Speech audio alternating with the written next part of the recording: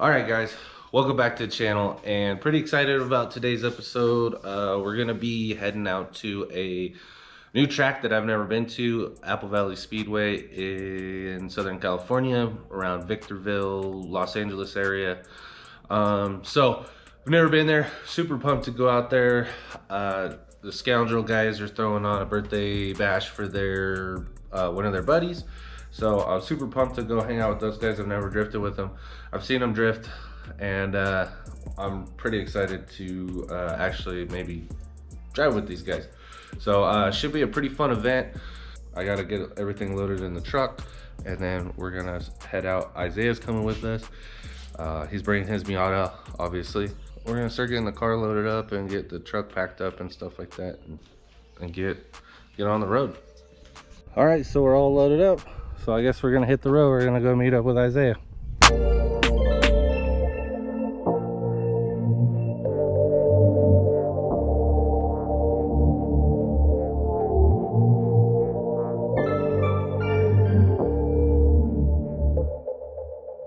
What's up? Linked up with Isaiah. Oh, Oh, damn. Damn, son. oh those. What? Oh, camera in your face? Wow. Processing error. Yeah. Your funds are no longer uh, are no good here. All right, so I'm gonna get some gas. All right, so we just filled up. Uh, we are back on the road and we got walkie-talkies. So we're communicating. I am Blue Falcon and Isaiah is Red Rocket. Um, so we got that settled and it, uh, all systems are a go. So, uh, and we'll see, we'll check in with you guys in a little bit.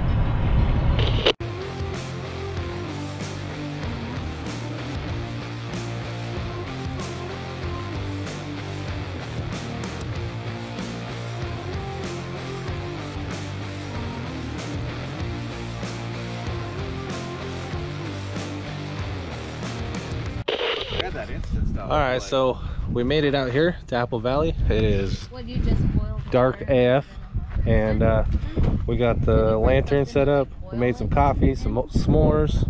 So we got a bunch of other people out here camping, but it's cool. You can kind of see the the city down there. You guys probably can't because it's too dark, but so Your, uh, evening coffees.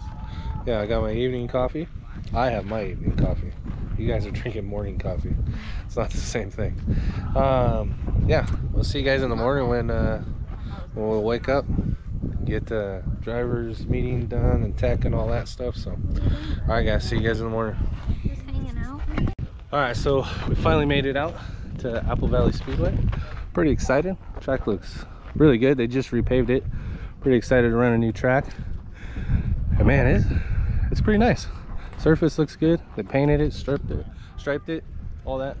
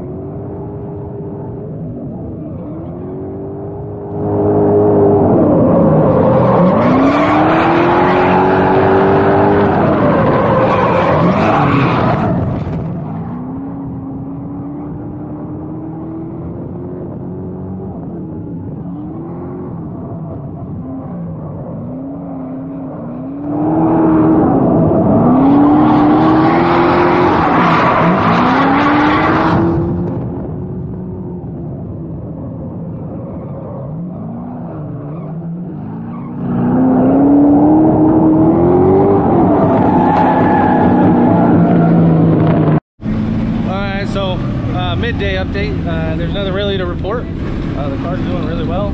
Um, we're doing about five laps every every session. Uh, it's a little hot out here. Uh, probably need to burp some of the air out of the cooling system, and because I think it's causing the temperature to rise.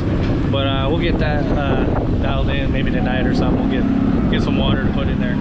Um, but yeah, dude, the course is awesome. The new steering angle is amazing. Like I can just like throw it in, and I just have so much more uh, room, you know, just to throw the car way harder and, and and stay stay in drift and not spin out. So super pumped on that. And the car's driving like I would say like an Assetto car, like a Tando Buddy car. It drives real, real snappy.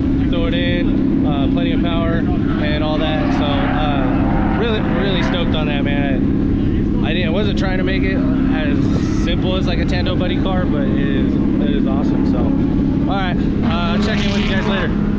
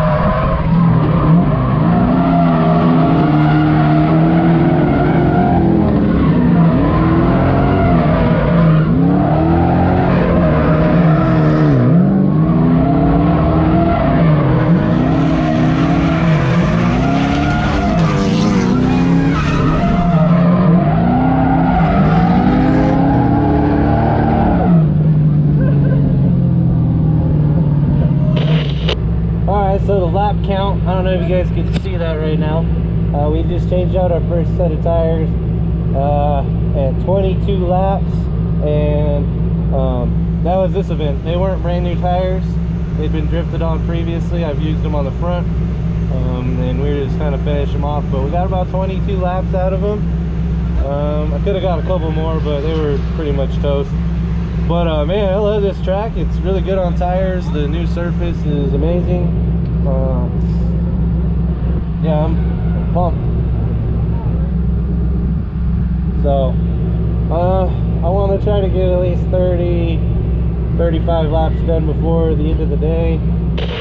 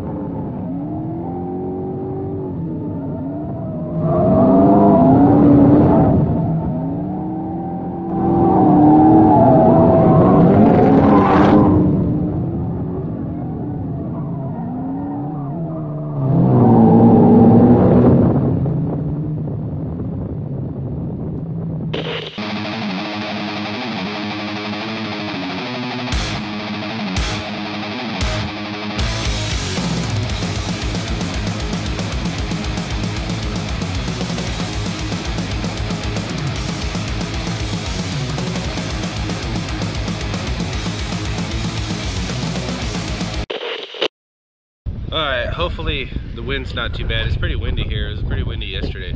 But uh I mean, the vent's pretty good.